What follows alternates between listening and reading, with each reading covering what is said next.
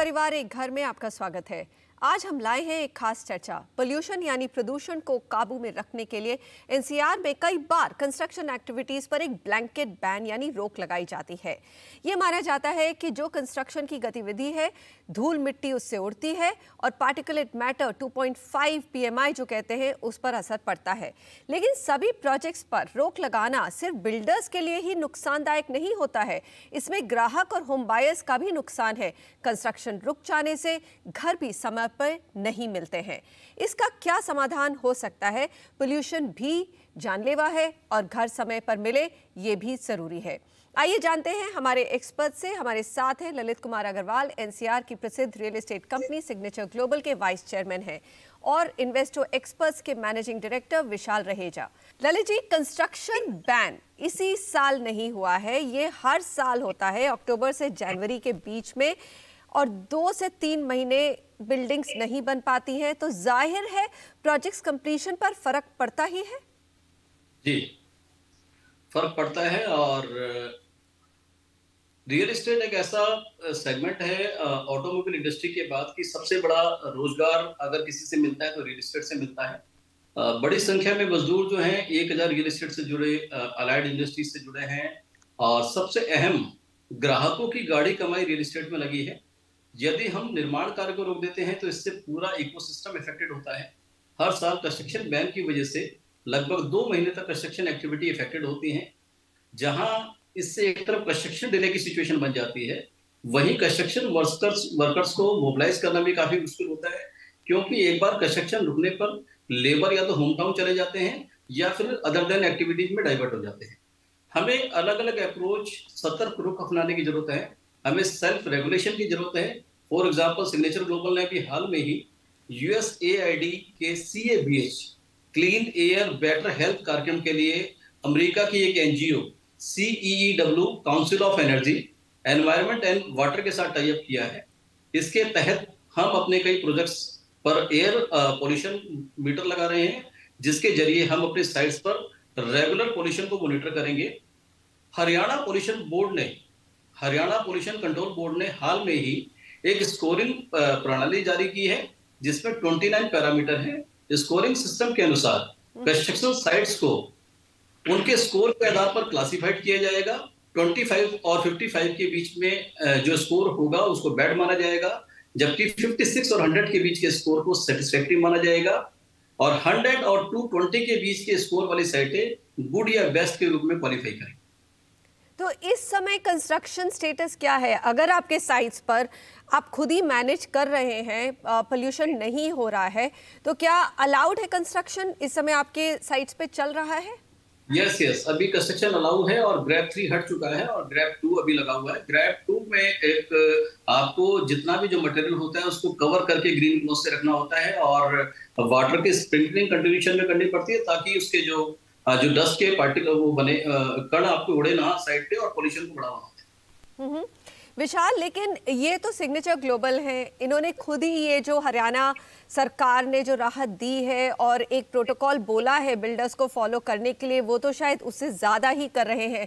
लेकिन हाल ही में हरियाणा सरकार ने करीबन 200 बिल्डर्स को फाइन भी किया है प्रोटोकॉल्स नहीं फॉलो करने के लिए। तो आपको क्या लग रहा है कि कितना कंस्ट्रक्शन हो रहा है और क्या सभी बिल्डर्स को ये बिल्कुल गांठ बाँध लेनी चाहिए कि ये पोल्यूशन जो है उसको बहुत सीरियसली ले पोल्यूशन कंट्रोल को? जैसे कि मनीषा जी, पहले तो मैं पॉल्यूशन बोर्ड के इस इनिशिएटिव को समर्थन करते हैं। Obviously they are thinking about the citizens of the country but इसकी अदर साइड स्टोरी समझना बहुत ज़रूरी है। आज किसी एक सेलेक्टेड डेवलपर की वजह से, किसी एक सेलेक्टेड डेवलपर की गलती की वजह से पूरी इंडस्ट्री सफ़र ना करे। ये कंस्ट्रक्शन बंद होना एक पूरे इकोसिस्टम को इफ़ेक्ट करता है और पूरा कस्टमर की जो पोजीशन की टाइमलाइन से वो डिले होती है। पोजीशन टाइमलाइन डिले होने की वजह से उसके ऊपर एक्स्ट्रा ईएमआई का बर्डन आता है। वो एक समय पे रेंटल भी पे कर रहा होता है और आपकी ईएमआई भी पे कर रहा होता है। तो मुझे ऐसा लगता है थोड़ी सी स्ट्रिक्टनेस बढ़ाने की ज़रूरत है और उन सेलेक्टेड डेवलपर्स के साथ जो इस प्रोटोकॉल को फॉलो नहीं कर रहे हैं। हम्म। एक नया रूल लागू कर देना एक नया कंप्लाइंस ऐड करना आ, मुझे लगता है थोड़ा डिफ़िकल्ट है बिकॉज़ ये इंडस्ट्री के अंदर ऑलरेडी बहुत सारे कंप्लाइंसेज हैं। हम लोग पिछले कई वर्ष से सिंगल विंडो क्लियरेंस की बातें कर रहे हैं। रियल एस्टेट एक बहुत बड़ी इंडस्ट्री है जो बहुत इकोनॉमी को बहुत सपोर्ट करती है। बट तब भी आज एक डेवलपर को मल्टीपल अथॉरिटीज के पास जाना पड़ता है अप्रूवल्स के लिए। और एक और नया कंप्लाइंस ऐड होना मुझे लगता है थोड़ा सा गलत रहेगा। इससे बेहतर अगर हम कुछ और चीज़ों पे काम करें जैसे कि आपको पता है हर साल हरियाणा के अंदर एक किसानों की तरफ़ से पराली जलाई जाती है उस पर भी सरकार काफ़ी रोक लगा रही है। उस ऐसी और बहुत सारी गतिविधियाँ हैं जो हो रही हैं जिस पर मुझे लगता है रोक लगाई जाए तो हम इस एयर पॉल्यूशन को बेटर कर पाएँगे। और आपका कहना सही है कि होम बायर ही नहीं मतलब चेन में बहुत लोगों को फ़र्क पड़ता है क्योंकि बहुत सारे लोग एम्प्लॉयड हैं और ये construction labour contractor contractual labour होता है तो जब वो काम करता है तभी उसको पैसा मिलता है नहीं तो नहीं मिलता है। तो मतलब सिर्फ़ कंस्ट्रक्शन पे ही बैन क्यों, लेकिन पोल्यूशन भी बहुत ही एक बड़ा मुद्दा हो गया है एनसीआर के लिए।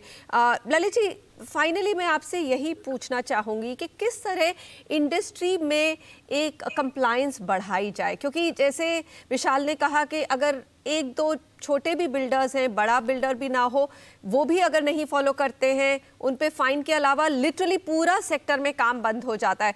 तो कोई इंडस्ट्री बॉडी है, जैसे नरेट को है क्रिडाई है, क्या वो इस कंप्लायंस को बढ़वा सकते हैं?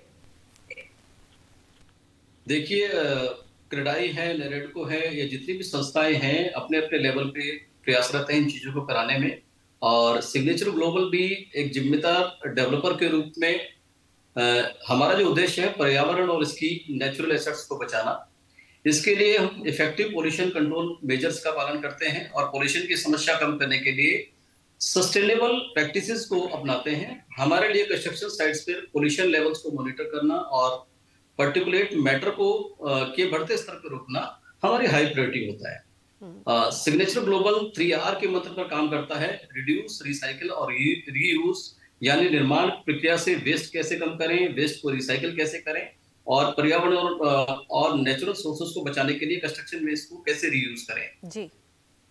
हम अपने निर्माण कर्मचारियों को विशेष प्रशिक्षण देते हैं जिससे कंस्ट्रक्शन एक्टिविटीज़ को कम से कम पोल्यूशन हो आज विश्व में जो ग्लोबल वार्मिंग की समस्या है उसे ध्यान में रखते हुए as a responsible real estate developer हम ग्रीन डेवलपमेंट को प्रमोट करते हैं और हर वो उपाय करते हैं जिससे एनवायरमेंट को कम से कम क्षति पहुँचे। नुकसान पहुँचे। Yes. विशाल ये बताइए कि आप आपको भी जैसे आप जब आपके पास कस्टमर आता है क्या आप उनका रुझान उन प्रोजेक्ट्स की तरफ़ करते हैं? उन बिल्डर्स की तरफ़ जो रिस्पॉन्सिबली इस पोल्यूशन मैटर को लेते हैं। जी बहुत बिल्कुल ठीक कह रहे हैं। आज का कस्टमर बहुत एजुकेटेड है। आज का कस्टमर सब कुछ जानना चाहता है जो डेवलपर प्रोजेक्ट डिलीवर कर रहा है क्या वो सारे सेफ्टी प्रिकॉशंस ले रहा है या नहीं ले रहा है? तो yes it really matters and we also prefer to only work with the developers who are following all the compliances चलिए। Lalit ji Vishal ji thank you very much मैं यही चाहूँगी कि 2023 में रियल एस्टेट सेक्टर को ज़्यादा breaks ना लगे चलता रहे। अभी गाड़ी पकड़ी है स्पीड पकड़ी है गाड़ी ने तो ये स्पीड ना रुके। हर परिवार एक घर में आज इतना ही। अगले हफ़्ते फिर मिलते हैं एक खास मुद्दे पर चर्चा के साथ।